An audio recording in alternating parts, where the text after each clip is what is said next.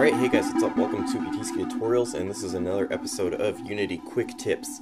Today's quick tip is going to be going over the basic variable types that you have available to you inside of Unity 3D. So why don't we go ahead and just jump right into it.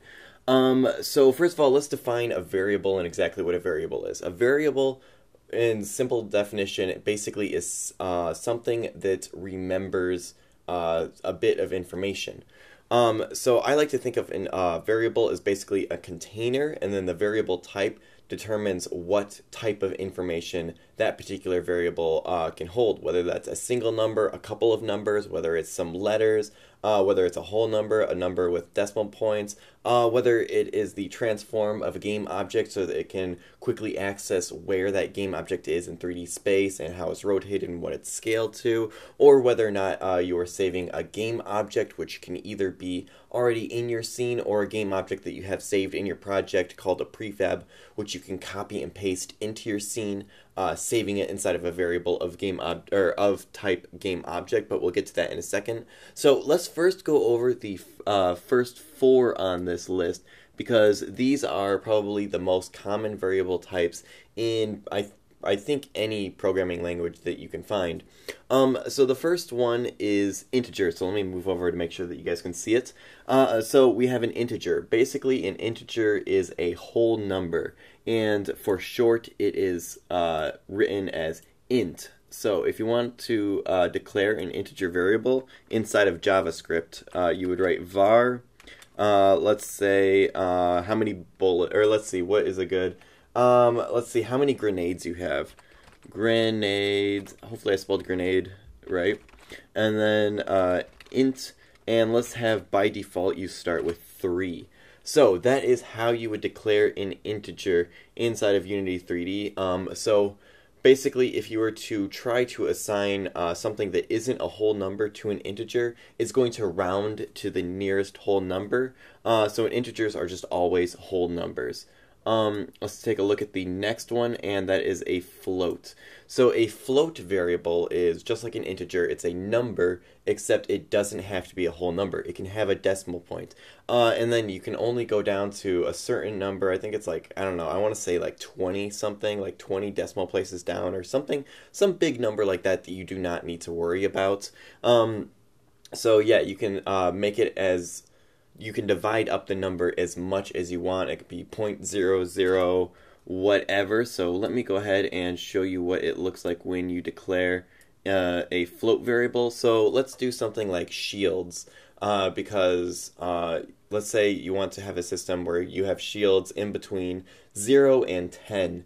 Um, in order to have your shield recharge uh, gradually and nice and smoothly and look good on your HUD, you're going to need a float because if you try doing that with an integer, it'd be like eh, eh, eh, eh, and it wouldn't really look good. Uh, so we're going to use a float for that. So let me just quickly show. It would look like um, shields uh, float equal uh, 10. So that would be one way of declaring a, a float variable. Another way that you could do it is you can get rid of that float part and you can just do 10.0 and when you do uh, point something, Unity is automatically going to determine that you are trying to declare a float variable if you do not have a pragma strict in your uh, script. Uh, but I prefer the first method. It's just all around typically works better. Um, so yeah, that is how I would write it. So yes, I think you guys know what a float is by now. So next let's talk about a boolean. Uh, basically what a boolean is is very simply true or false. Uh, that's the only thing that a boolean can be. Um, so this might be good for something like aiming. So aiming equals true, you'd be aiming down your gun. False, uh, you'd be down like this. Uh, so it would be a good way of just keeping track of whether or not uh, you're aiming or not. So let's go ahead and do an example. Um, and let's use aiming as an example. So var aiming boolean equal false, just like that. But if we want to start the game uh, where you are aiming, we're going to write true like that. So that would be how you declare a boolean variable. Uh, and you just write true and false whenever you want to change that variable. So that is what that variable is for. Um, oh, also, you can put it inside of an if statement. So we could do like if aiming uh, then do something. I don't know. So that would be a basic example of how you would use um, a boolean inside of an if statement. All right, let's jump. Oops, no, I didn't want to do that. I just want to pull that over here. Uh, let's next look at a string. So a string is basically a string of letters, numbers, or symbols. Um, so pretty much anything that you can type on your keyboard. So this is just like typing into a Word file and you copy and paste. It is a string of letters and you're really looking at the word itself and all the symbols. So uh, let's quickly go over how you would declare a string and edit a string. Uh, so let's say player name. That's the variable that we're going to do. So var player name string equal uh, Bob. So that is how you would want to declare the string, or of course, if you want it to just be blank, you can put it like that. And then somewhere in the code, you can do player name equal, whoops, Bob, just like that, because you need the parentheses inside of code for uh, Unity to know that you are actually talking about a string. Um, or, but probably realistically, you would want to use the input menu or the GUI uh, function to let the player actually type in what name they want. But that is the basics of how a string works. Uh, the next variable type we have is a little bit more advanced. It is a vector 3. A vector 3 is basically a point in 3D space, and more simply, it's three float variables that represent a point in 3D space, but uh, doesn't have to represent a point in 3D space. It can represent a bunch of different things. Um, so let's just quickly go over what it looks like to declare a uh, vector 3. So var, um, just spot. We'll just do a spot in 3D space. Oops. Vector. Oops. Vector 3. Um, and then you can declare it in the inspector. You can edit it to exactly what you want.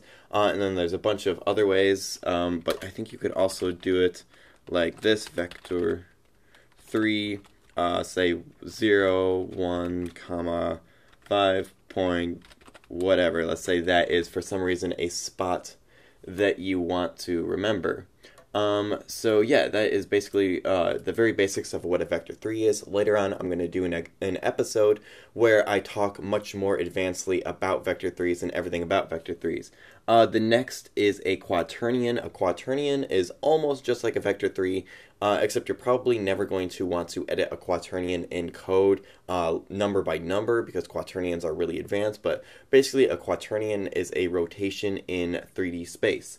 Uh, I'm going to go ahead and just jump over that one because it's just like a vector 3, except, well, alright, fine, I'll, I'll just quickly write var uh, look quaternion, and that's probably as far as you're going to want to take quaternions, and then uh, after that, you just save them as variables. But I'm going to talk more about quaternions in other episodes. I just want you guys to know that a quaternion is a rotation uh, variable. All right, how much time do I have left? It looks like I got a lot of time left. Okay, uh, next I want to go over what a game object variable is. So basically a game object variable, like saving a number or a string of letters or a position or rotation, it saves a game object. It remembers. So let's say you want the enemy to remember the player so that it can like track it uh, through its pathfinding or just always looks at the player or something like that, like a turret um, you would save that inside of a game object, or you can do a transform uh, because a transform will more directly. Uh, you can write like transform.position or transform.rotation, and you can get the position or rotation of that particular transform. So when you do a transform, you're actually remembering just the transform part of that game object. Whereas if you do game object, you're remembering the whole game object, and that's useful if you want to pull out parts like its render or its uh, a certain script that it has. Like you want to apply damage to the player, so you access the player script, and then you minus equal uh, damage from the variable health or something like that. Um, let me go ahead. Actually, I'm going to use a real world example. Uh, so here we are inside of MonoDevelop, and I'm inside of the whoops, wrong button. Let me go back inside of the gun script as you can see. and then I declared the variable bullets. So we're going to remember a prefab inside of this variable um, because we want to be able to duplicate this bullet uh, many, many times because you fire lots of bullets inside of video games. So we're actually going to save a game object as a prefab inside of our um, actual project file, and then we are going to copy and paste that into our scene as we uh, fire bullets. Uh, so let me show you what it looks like inside of Unity once you declare a variable like that. So here we have bullet, uh, and we don't have it set to anything. So let me move over so that you can see um, inside of the project window. I have it inside of a folder called bullets, and here is the bullet prefab that we have. So let me go back. I lost the pistol. Uh, there it is. Okay. So all I would do is simply drag and drop on top of bullet and now we have saved a prefab inside of that variable so that anywhere in the script we can instantiate and instantiate is another word for copy into our scene lots of bullets um, so yeah i think that pretty much is going to wrap up the general introduction of all the different variable types. Well, not all of them. There's actually way, way, way more variable types that I did not go over, but these are the very general variable types that I think are good to know and just introducing you into what you have available to you. But uh, there's a bunch of different variable types, like pretty much any different type of component you can use as a variable, like renderers, audio sources, animations, um, meshes, uh, materials, um, textures, colors. Uh, there's just so many uh, different things that you can um, save inside of variables and different variable types that you have. So hopefully this video was a good introduction. So yeah, until my next episode, I'll see you guys later and keep making games.